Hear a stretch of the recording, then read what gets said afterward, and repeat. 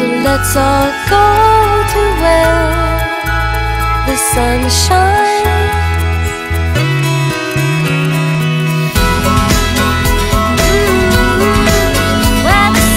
Mm-hmm. 세상 가장 빛나는 그녀들의 이 플레이스.